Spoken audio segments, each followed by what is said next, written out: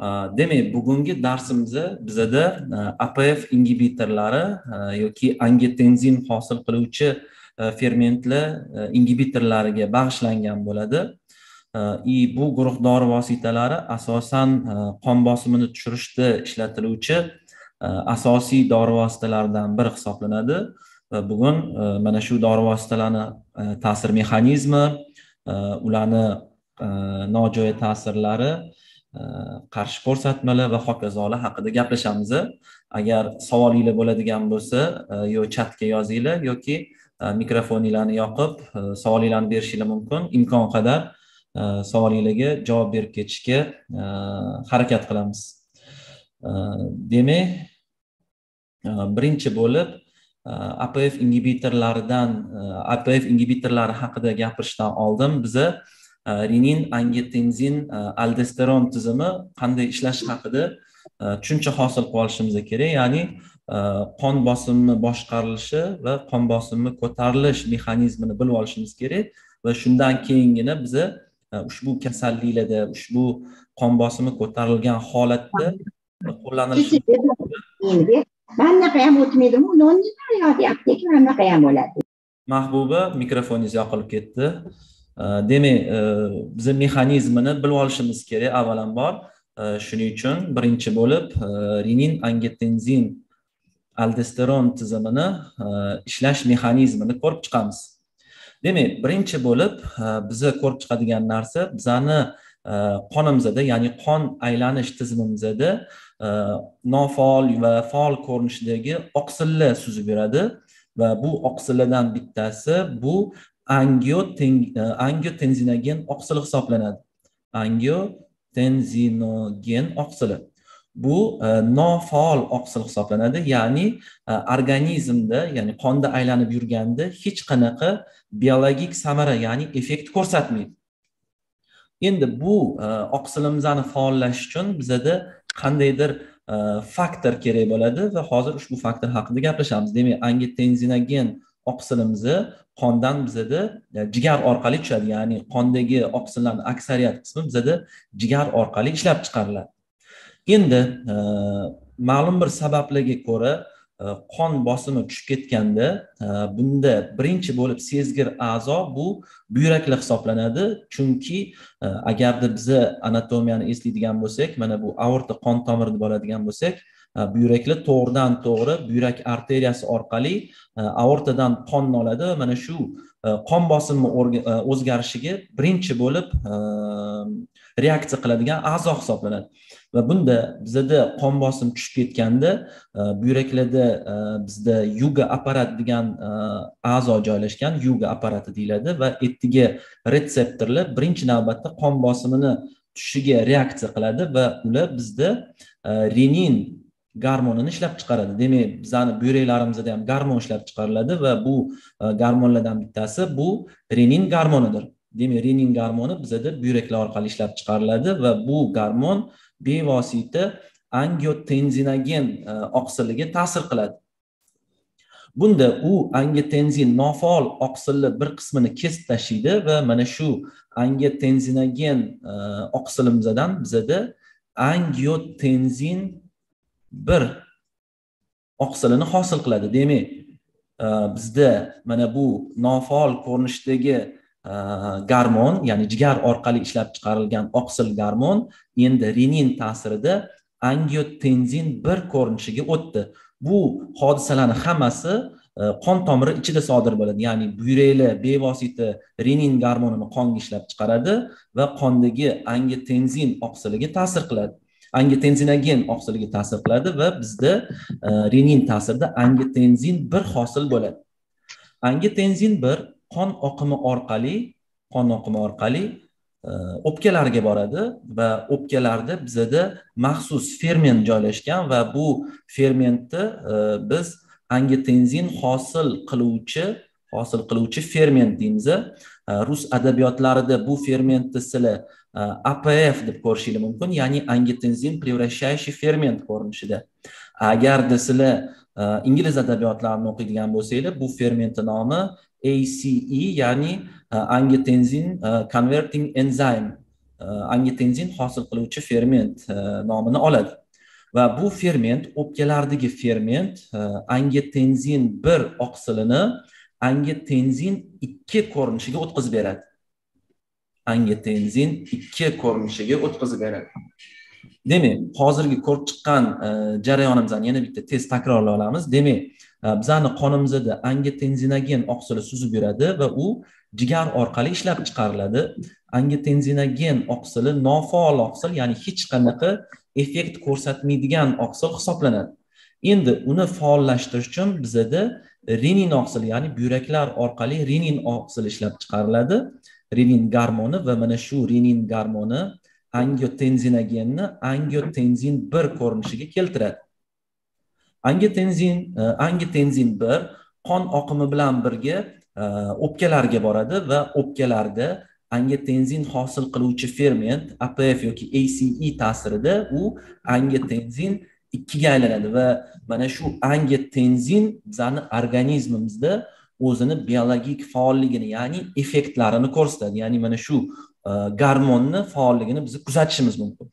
Birinchi e, bu garmonni samarasi angiotenzin ikki oqsili qon tomir devoriga ya'ni qon tomiri devorida joylashgan e, silliq mushakka ta'sir qiladi va angiotenzin e, oqsili angitenzin ikki oqsili ta'sirida bizani qon tomirimizni diametri ya'ni mana bu aylanasi qisqaradi ya'ni spazm holatiga keladi.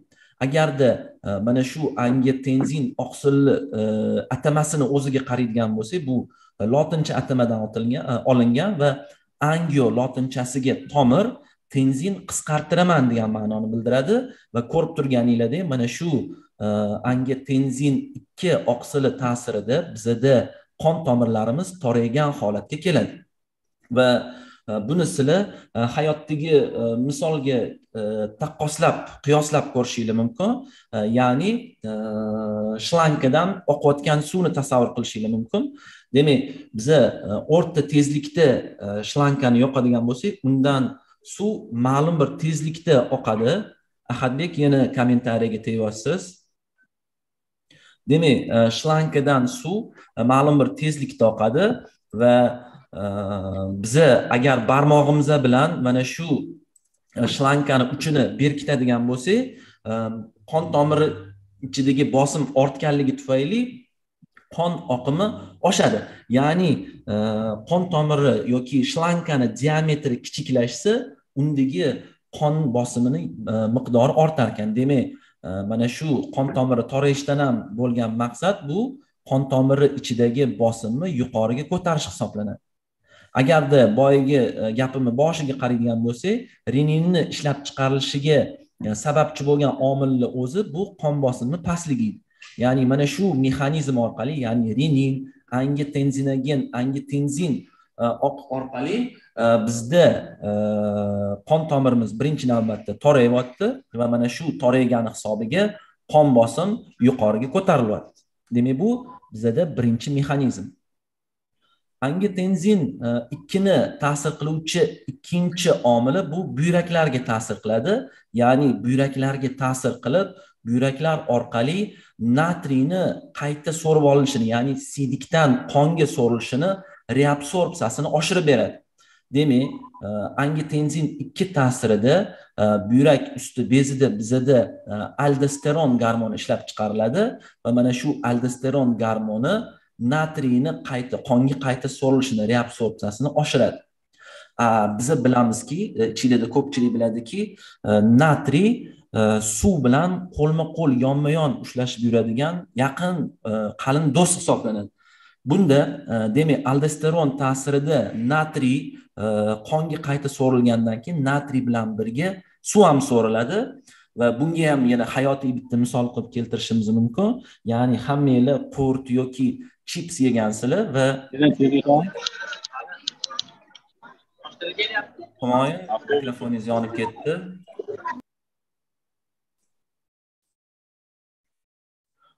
Demak hammanglar qurt yoki chips yegansizlar va qurt chipsi tarkibida bizada tuz bor va bu tuzni tarkibi natriy xlordan iborat.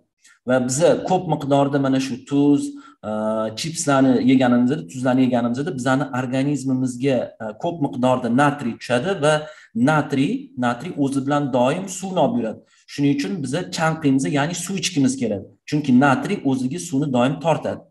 Endi mana bu e, angiotensin aldosteron misolida oladigan bo'lsak aldosteron ta'sirida siydikdan natriyni qonga qayta so'rib olinishi kuchayadi. Ya'ni siylikdan natriy yana qaytadan qonga o'tadi va o'zi bilan birga suvni olib kiradi. Demak natriy bilan birga suv qon tomiri ichiga kirgandan keyin qon tomiri ichidagi qonni hajmi ortadi. Demak biza e, qonni miqdorini oshirib berdik va biz bilamizki qon tomiri ichida suyuqlikni miqdori ortsa demak qon tomiri ichidagi bosim ham ortadi. Demak bosimni oshiruvchi ikkinchi mexanizm bu qon bosimini oshishi. Qon bosimiga oshishiga olib keluvchi omil bu natriy bilan suvni qayta so'rib olinishi. Shu joyigacha hammaga tushunarlimi? Kimda nima savollar bor? Agar savolinglar bo'lsa bemalol uyalmay berib ketaveringlar joyida hal qilib ketishga harakat qilamiz.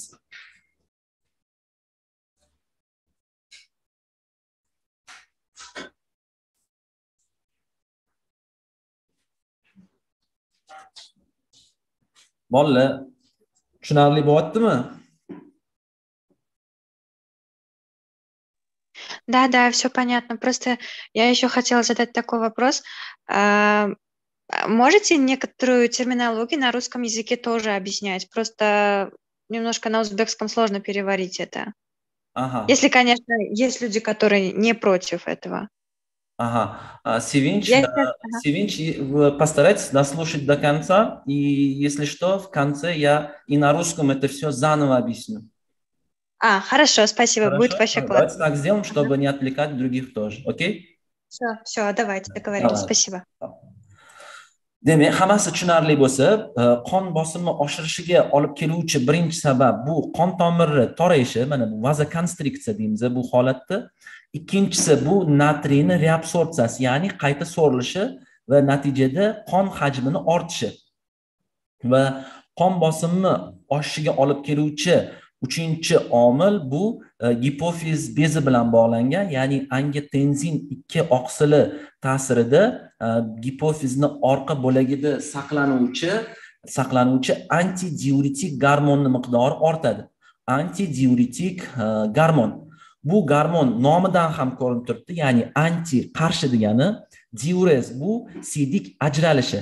Demak antidiuretik garmon e, ajraladigan siydik miqdori ya'ni suyuqlik miqdorini kamaytiradi. Natijada antidiuretik garmon natijasida bizani organizmimizdan kam miqdorda suyuqlik ya'ni siydik ajraladi va boyagi aytib o'tgan umumiy qon hajmi ortadi. Hajm ortgandan keyin bizda qon bosim ham yuqoriga ko'tariladi. Demak e, uchinchi mexanizmimiz bu e, angiotenzin ikki ta'sirida e, e, gipofiz bezini orqa bo'lagidan antidiuretik gormonni ajralishi ortadi. Antidiuretik gormon ta'sirida esa bizada qon bosimimiz ko'tariladi va qon bosimini ko'tarilishi bizada umumiy bosimni ko'tarilishiga olib keladi.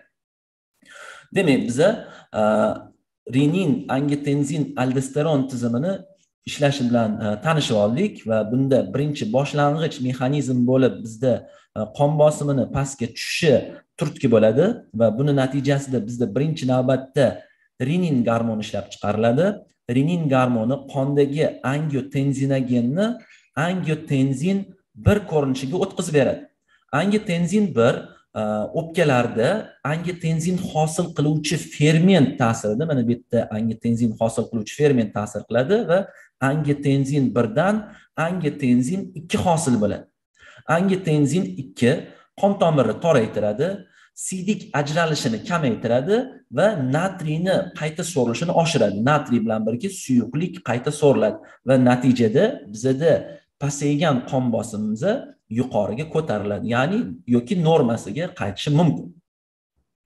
Endi bizni ishlatadigan e, biz ishlatadigan e, apf ingibitorlari yoki angitenzin hosil qiluvchi e, ferment ingibitorlari qanday ta'sir qiladi? Bu dori vositalarimizni bevosita angiotenzin hosil qiluvchi fermentga ya'ni mana bu fermentga ta'sir qiladi. Apfga yoki acaga ta'sir qiladi. Va mana shu fermentni bloklaydi ya'ni ishini to'xtatadi. Demak angiotenzin e, apf ingibitorlari angiotenzin hosil qiluvchi ferment ingibitorlari natijasida bizada mana bu ferment ishlab chiqarilmaydi. Natijada qondagi angiotenzin birdan angiotenzin ikkini hosil bo'lishi to'xtatiladi ya'ni bizada angiotenzin ikki hosil bo'lmaydi.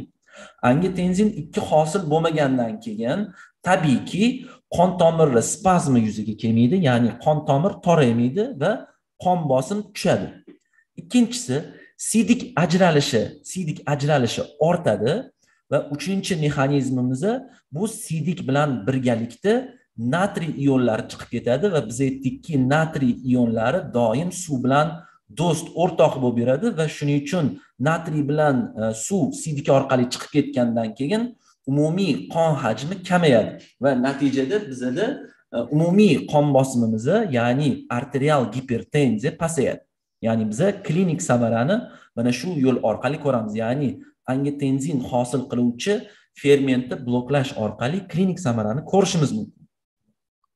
Endi e, fermenti apf э, ingibitorlaridan tashqari bizada qon bosimini tushirishda yana bir guruh dori vositalari qo'llaniladi va bu dori vositalarni ara e, blokatorlari deyiladi ya'ni angiotenzin retseptorini blokatorlari biz bilamizki garmon yoki biologik aktiv modda ta'sir qilishi uchun har bitta a'zoda bizada retseptor bo'lishi kerak. Ya'ni shu garmonni sezuvchi retseptor qabul qilib oluvchi soha bo'lishi kerak.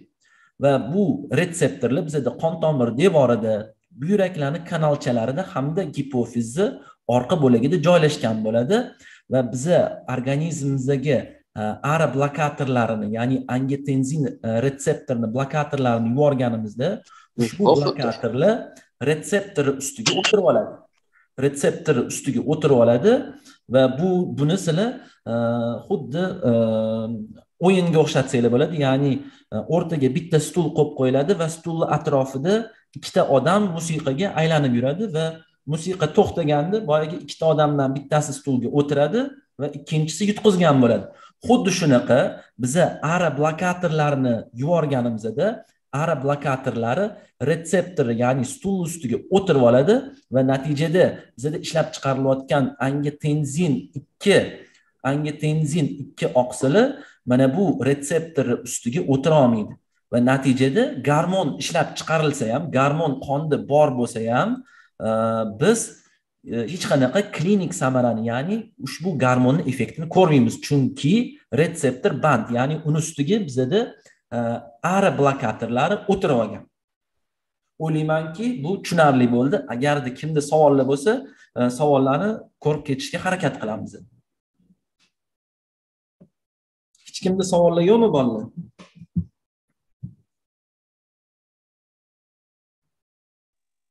yo'q domla ho'p savollar yo'q bo'lsa endi e, ushbu guruh dori vositalariga e, ushbu guruhga kiruvchi e, asosiy dori vositalarini ko'rib chiqamiz va demak birinchi ko'rib chiqadigan dori vositalarimiz bu apf ingibitorlari ingibitorlari demak ushbu guruhga kiruvchi birinchi dori vositasi bu enalapril dori vositasi hisoblanadi va uni sili e, enap enam e, ko'rinishlarida e, dori dorixonalarda ko'rgan bo'lishinglar kerak va ko'rib turganinglardek ushbu dori vositalarini asosiy mexanizmi boyagi fermentni bloklashga qaratilgan. Keyingi dori vositamiz bu kaptapril dori vositasi. Keyingisi lizinapril dori vositasi va to'rtinchisi bu benzopril dori vositasi. Endi sizlar ushbu guruh dori vositalarini qanaqa qilib e, oson eslab qolishinglar mumkin? E, buni judayam e, shpargalka yo'li bor ya'ni esda oson qolib e, ketadigan yo'li va biz bu guruh dori vositalarini kelinglar prilla deb nomlaymiz. Va e'tibor qaratsanglar har bitta dori vositasini ya'ni faol moddani oxirida ko'rib turganinglardek pril qo'shimchasi bor. Demak pril atamasini ko'radigan bo'lsanglar demak bu dori vositalari bizada apf ingibitorlari guruhiga kiradi. И qisqacha kelinglar ari blokatorlarini ham bu yerda sanab ketamiz ularni xafa qilmaslik uchun. E, demak bu dori vositalari boyagi e, o'yinimizdagi stul ustiga o'tirib oladigan e, dori vositalari hisoblanadi va bularni biza angitenzin retseptorlarini blokatorlari deyiladi. Va bu e, guruh dori vositalariga lazartan valsartan hamda kandesartan e, dori vositalarini kiritishimiz mumkin. Va bularni ham oson eslab qolish yo'li bu e, ularni nomidagi e, artan qo'shimchasi yoki ba'zida yana sartan ham qo'shiladi. Ya'ni qayerda sizlar mana shu qo'shimchani e, ko'radigan bo'lsanglar bu guruh dori vositalarini bemalol e, ar blokatorlariga kiritishinglar mumkin bo'ladi. Demak e, biza e, dori vositalarini ya'ni apf ingibitorlarini e, ta'sir mexanizmi bilan tanishib chiqdik. Va bu ta'sir mexanizmini fan tilida farmakodinamika ham deyiladi endi ushbu dori vositalari qanaqa kasalliklarda qo'llanilishi mumkinligi haqida gaplashamiz. Xo'sh demak e, biza boya aytdikki e, apf ingibitori ta'sirida bizada qon bosim pastga tushadi. Demak tabiiyki ushbu dori vositalari bizada e, arterial gipertenziya arterial gipertenziyani davolashda qo'llanadi. Ya'ni bu dori vositalarini bersak bizada qon bosim pastga tushadi arterial gipertenziya. Bundan tashqari gipertonik kasallikda qo'llasak bo'ladi bu dori vositalarini. Ya'ni doimiy qon bosimini yuqori bo'lishi bilan xarakterlanuvchi e, surunkali kasal hisoblanadi. E, keyingi qo'llanilishi mumkin bo'lgan holat e, bu e, yurakni ishemik kasalliklari yurakni yik deb qo'yamiz kelinglar yurakni ishemik kasalliklari e, bu yurakni ishemik kasalligi nima deganda sizlar e, birinchi navbatda miokard infarkti hamda stenokardiyani ko'zinglarni oldiga keltirishinglar mumkin. Noto'g'ri yozib qo'ydim. Stenokardiya bunda o'sha yurak ortida e, og'riq bo'lishi va yurak mushagini qisqaruvchanlik faoliyatini kamayishi bilan e, sodir bo'luvchi kasallik hisoblanadi. Bunda qanaqa qilib apf ingibitori e, yurakni ishemik kasalligida yordam berishi mumkin?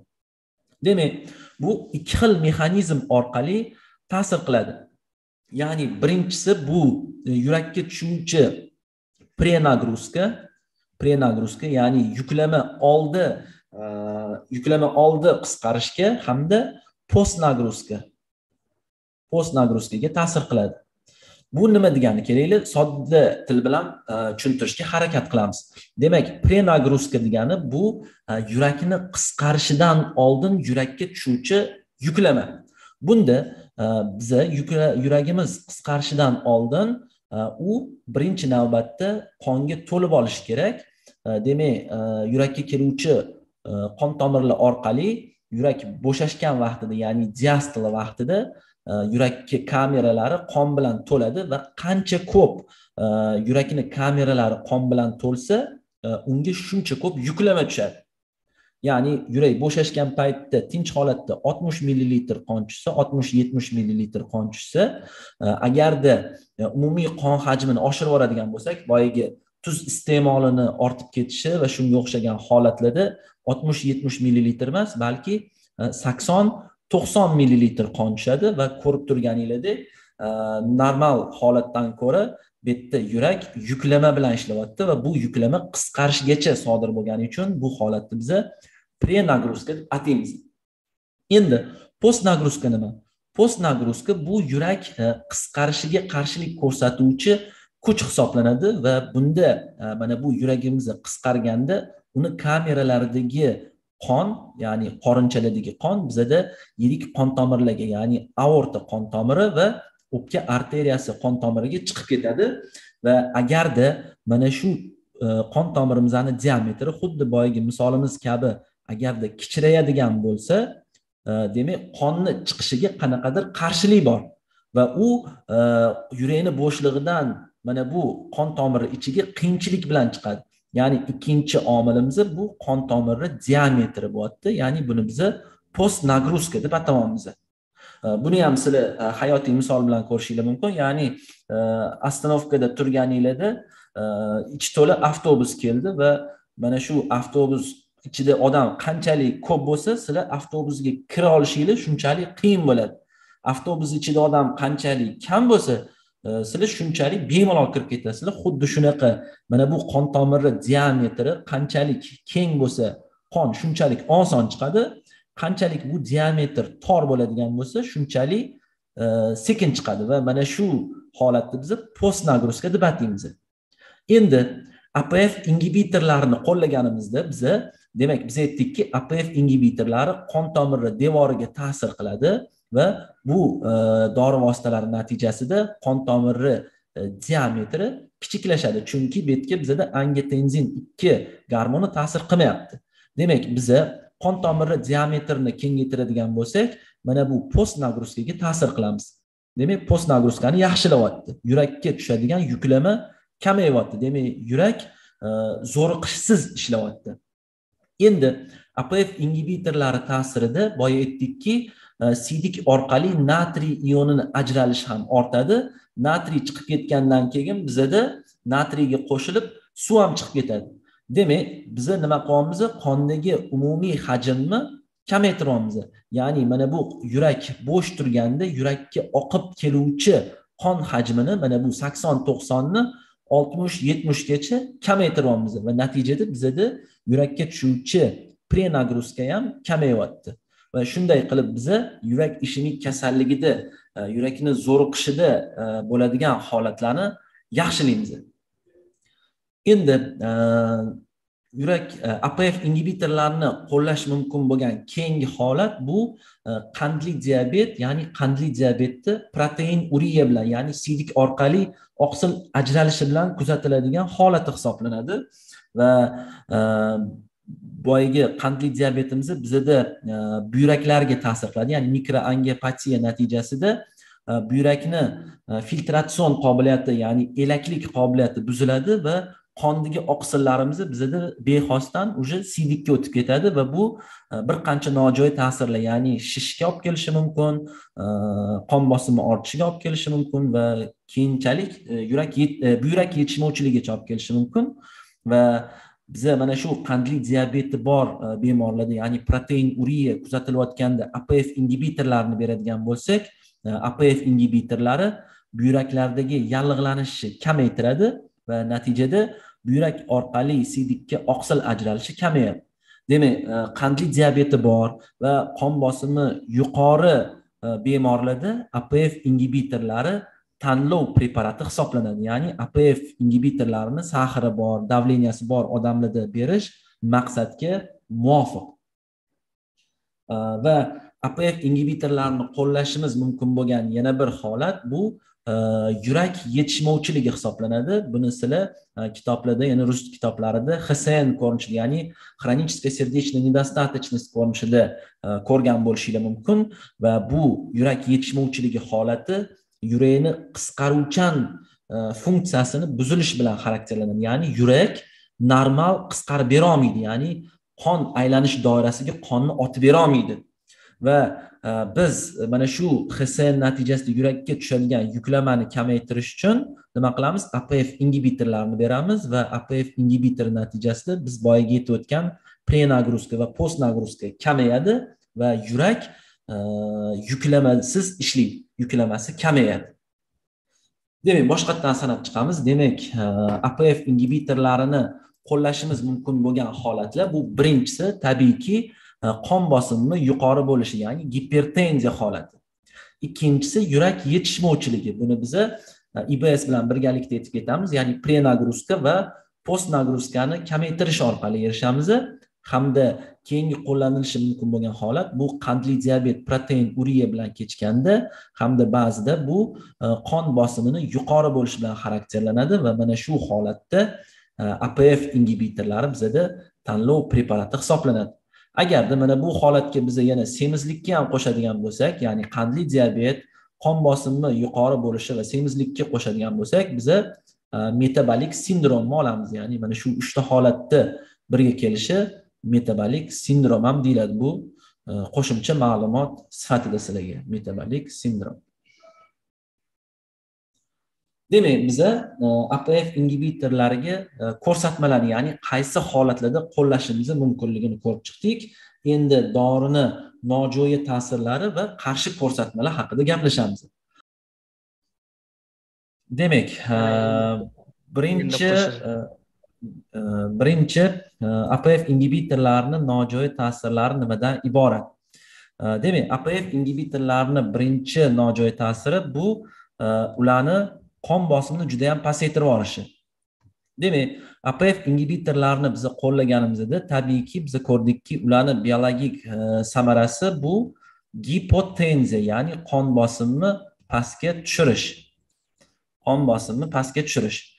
Demak apf ingibitorlari natijasida mana shu gipotenziya kuchli holatda bo'lishi mumkin va e, biz e, qo'llayotgan bemorimizni qon bosimi e, biz kutgandan ham pastga tushib ketishi mumkin. Ya'ni uni qon bosimi bir yuz qirqqa to'qson bo'lganda biza apf ingibitorlarini berdik va bularda samara kuchli bo'lganligi yoki dozirovkani yuqori bo'lganligi yana bitta ko'rsat ko'rsatkichi bu retseptorlarni sezuvchanligi natijasida ushbu bemorlarda qon bosim to'qsonga oltmish yoki saksonga e, ellikgacha tushib ketishi mumkin. Ya'ni gipotenziyaga olib kelishi mumkin.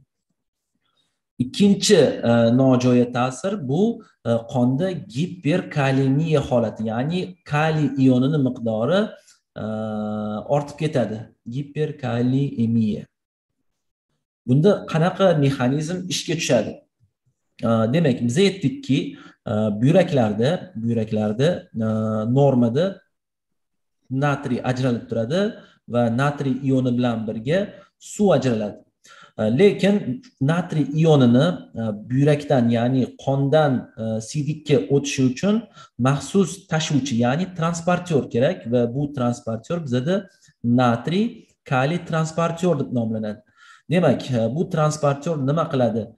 Buyrakdan e, filtr bo'lgan e, kaliy ionlarini ya'ni siydikka ajralayotgan kaliy ionlarini qaytadan qonga so'radi va mana shu kaliyni o'rniga e, siydikka natriy ionlarini ishlab chiqaradi. Endi biza apf ingibitorlarini qo'llaganimizdan keyin siydik bilan natriyni ajralishi kuchaydi va bu bilan birga suv ham ko'p ajralyapti lekin natriy siydikka nimadir hisobiga chiqib ketishi kerak. Ya'ni siydikka natriy o'tadi lekin qonga nimadir qaytib kirishi kerak va mana shu narsa bizada kaliy hisoblanadi va kaliy e, normadan ortiq e, qayta so'rilganligi ya'ni reabsorpsiya bo'lgani hisobiga e, biza qonda giperkalemiya ya'ni kaliyni miqdorini ortish holatini kuzatishimiz mumkin.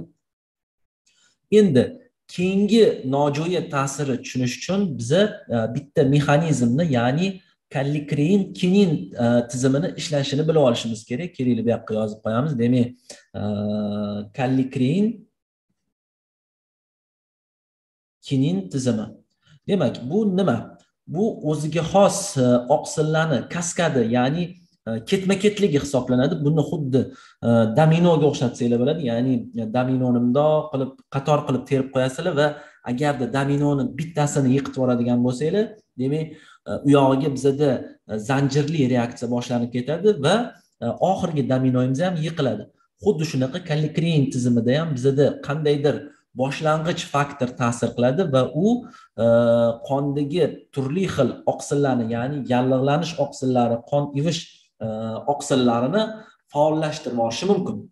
Demak e, birinchi bo'lib e, xuddi boyagi angiotenzinogenga o'xshab bizani qonimizda pre kallikrein degan anaqa suzib beradi oqsil suzib beradi. Kallikrein pre kallikrein demak bu oqsilimiz bizada nofaol ko'rinishda ya'ni noaktiv ko'rinishda bo'ladi.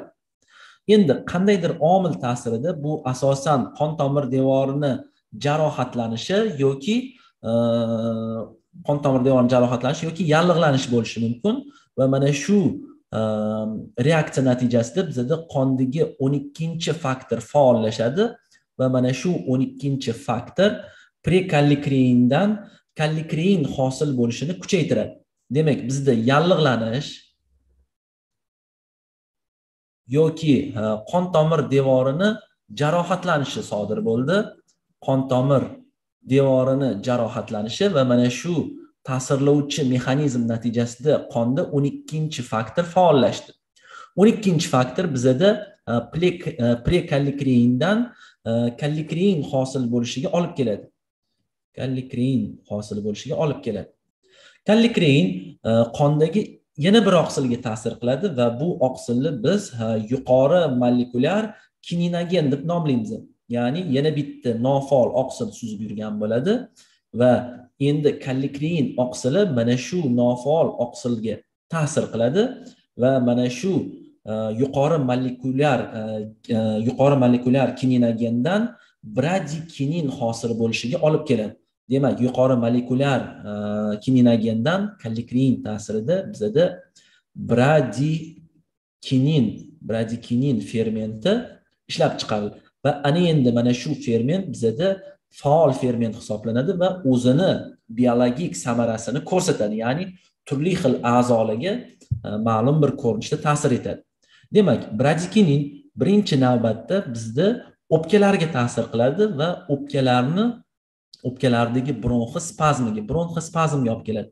Ya'ni e, o'pkada bronxi ko'ndalang kesimiga qaraydigan bo'lsak u mana bunday bo'shashgan holatda va bradikinin ta'sirida endi bu bronximiz torayadi va bronxospazm yuzaga keladi.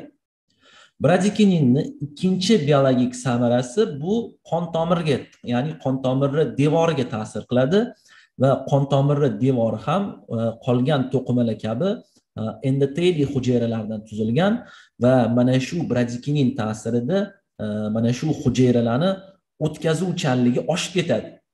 Demak e, mana bu sohani biza agarda e, qon tomiri ichi deb qabul qiladigan bo'lsak mana bu qon tomiri ichi e, mana bu soha mana bu soha bu atrofdagi to'qima mana bu to'qima. Demak bradikinin ta'sirida qon tomiri o'tkazuvchanligi oshib ketadi va qonni suyuq suyuq qismi bizada to'qimalarga qarab o'tadi. Demak to'qimalarga suyuq suyuqlik so'rilgandan keyin tabiiyki nima kuzatiladi? Bizada shish kuzatiladi. Ya'ni bradikinin ta'sirida bizada bu holatda yana edema deyiladi. Ya'ni shish holatini kuzatishimiz mumkin. Demak bradikininni birinchi biologik effekti bu bronxospazm ya'ni bronx devorini torayishi ikkinchi effekt bu qon tomir o'tkazuvchanligini oshishi va natijada shish yuzaga kelishi. Hamda bradikininni uchinchi ta'siri bu e, nerv oxirlariga ta'sir qiladi va nerv oxirlariga ta'sir qilgandan keyin e, bu nerv oxirlarida e, og'riq yuzaga keladi. Ya'ni yallig'lanish ya'ni qon tomiri jarohatlanishi natijasida bizada mana og'riq ham yuzaga kelyapti. Endi buni apf ingibitorlariga qanaqa aloqasi bor degan tabiiy savol tug'ilishi mumkin. Hozir hammada ya'ni nimaga buni hammasini tushuntiryapmiz biza apf ingibitorlarini o'tyapmizu deb savol berayotgan bo'lishinglar mumkin. Judayam e, o'rinli savol.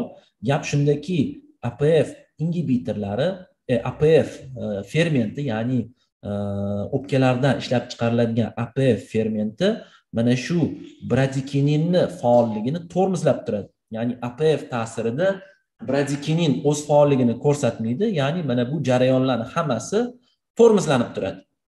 Endi biza nima qilyapmiz biza bemorlarga apf ingibitorlarni ya'ni mana shu garmonni to'xtatuvchi dori vositalarini beryapmiz natijada nima bo'ladi? Boyagi apf tormozlovchi e, ta'siri ta'siri to'xtaydi va bronxospazm kuchayadi va apf ingibitorlarni ya'ni enalapril kaptoprilni ichayotgan bemorlarda bronxlar toraygani hisobiga biza yo'talni ko'ramiz. Ya'ni bronxospazm bo'lgani hisobiga nojo'ya ta'sir ko'rinishida nima bo'ladi? Bemorlarda yo'tal yuzaga keladi.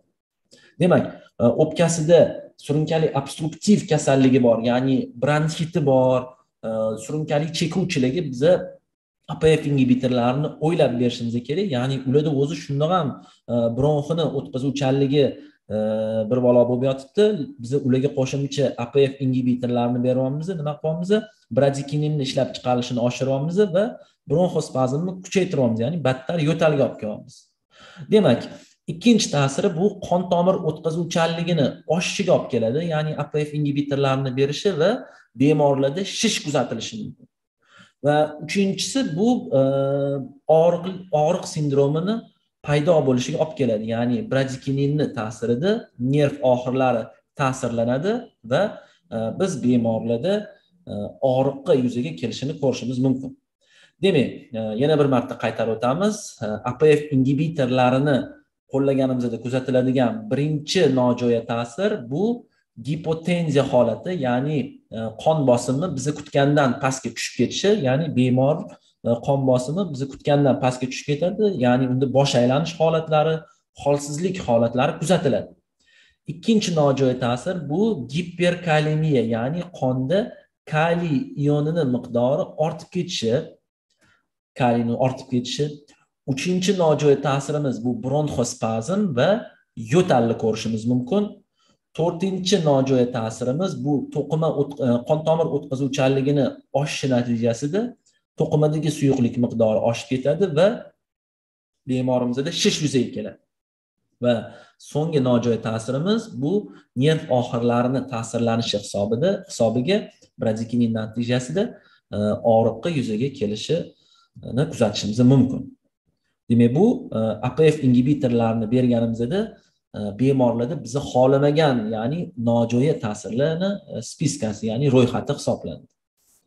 Endi sizlar bilan oxirgi ko'rib chiqadigan holatimiz bu e, apf ingibitorlarini qaysi holatlarda bemorlarga tavsiya etib bo'lmaydi yoki buyurib bo'lmaydi? E, demak birinchisi bu homiladorlarga apf ingibitorlarini o'ylab berish kerak bo'ladi yoki akusher e, ginekologni nazoratini ostida u bilan maslahatlashgan holatda berish kerak. Negaki apf ingibitorlarini teratogen ya'ni homilaga toksik ta'siri bor. Shu sababli homilador bemorlarda apf ingibitorlarini boyagi aytib o'tganimdek maslahatlashgan holatda o'ylab berish kerak bo'ladi. Ikkinchisi qaysi e, qarshi ko'rsatma o'zi shundoq ham qon bosimi past odamlarga biza apf ingibitorlarini bera olmaymiz. E, chunki ularni bosimi shundoq ham past va biz ularga shu qon bosimini tushiradigan dori vositalarini beryapmiz va gipotenziv holatda bundan ham battar ko'rinishga olib kelishimiz mumkin. Keyingi holat bu nosteroid yallig'lanishga qarshi dori vositalari bilan birga qo'llash e, nimaga e, nosteroid yallig'lanishga qarshi dori vositalari bilan apf ingibitorlarini o'ylab berish kerak.